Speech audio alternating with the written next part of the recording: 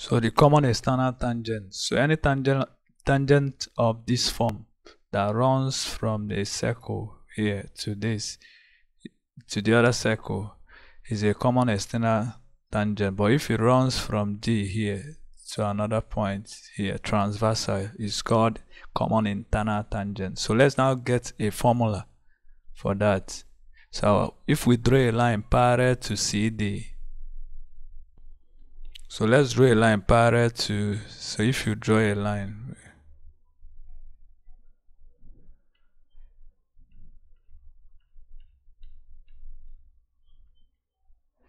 so assuming this the radius of the small circle is r small letter r. So that's what we have here. So and again assuming the radius of the big circle is big letter r so we now see the remaining part of this is r minus r.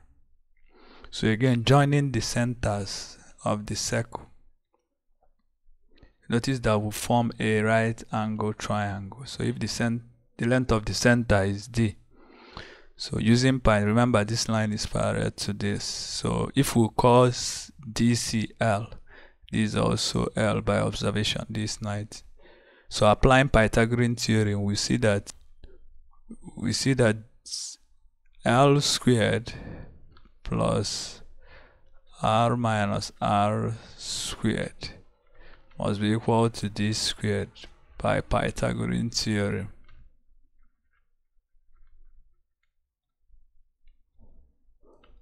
By Pythagorean theorem. Remember our main aim is to find L. So L, making L the subject of formula. So now is square root of d squared minus r minus r all squared so that's the formula. Each time you ask to find the length of this tangent, is that's the common external tangent, just this. This this distance between the centers.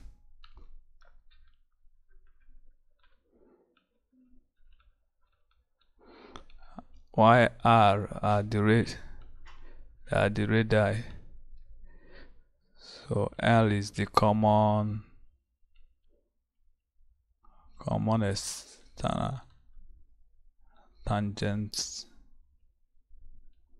So that's the formula. So this now is special case when the two circle touch.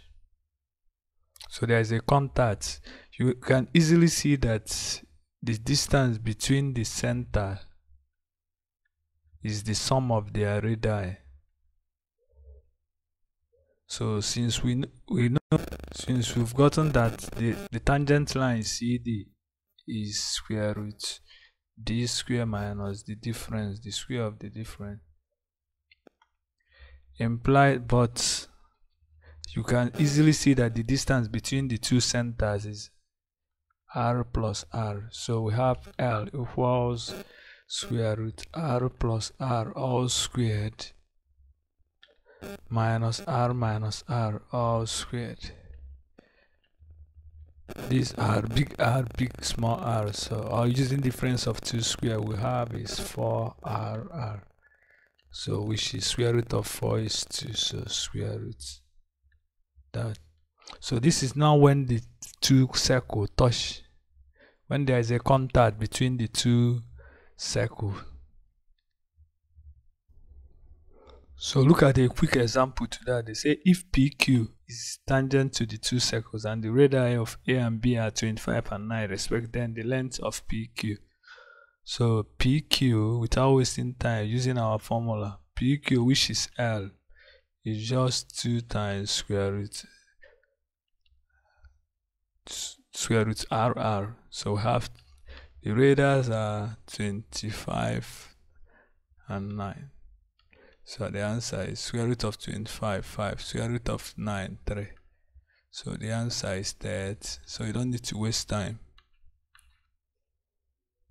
Given this question, two circles of centers A and B have a common tangent CD. If the diameters are 10 and 6, find CD if AFEB are collinear.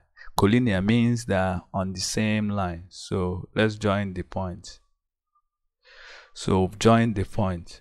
So we see that the, remember diameter is 10, so radius will be 5. So the bigger circle is 5, while the small circle is 3.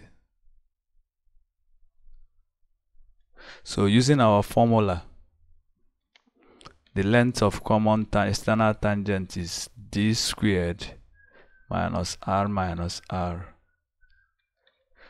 Remember, d is the common is the distance between the centers.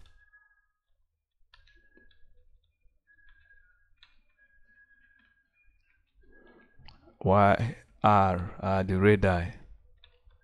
So substituting the value, we now see that L is square root. D is 5 plus 2 plus 3, which is 10. 10 squared.